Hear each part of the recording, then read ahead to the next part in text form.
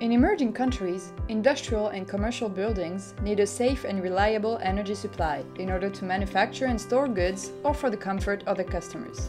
However, the daily blackouts of the grid can last hours, which is why they generally rely on diesel generators on site to ensure a stable power supply. This necessary power continuity is costly for business owners, as the energy coming from fuel can cost up to $1 per kilowatt hour in some remote locations, putting pressure on their operating costs.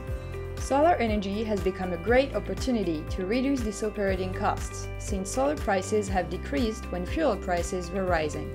That's why you now see many commercial and industrial buildings integrating a solar plant with their existing diesel plant.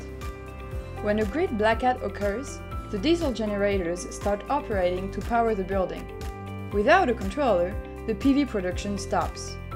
Thanks to Elum ePower Control HFS controller, PV panels can still produce energy during blackouts, while ensuring minimum genset loading and reverse power protection to avoid any permanent damage to the existing diesel plant. Elum ePower Control HFS controller also complies with national grid codes through limiting energy exports to the grid.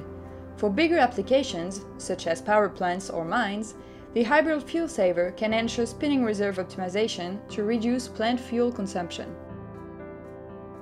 Elum HFS controller is compatible with all the main brands of solar inverters on the market through RS485 Modbus or Modbus TCP, but also with on-site gensets controllers, meters, or third-party sensors. It is fully autonomous and its local intelligence allows it to store the data and operate the plant in case of internet loss.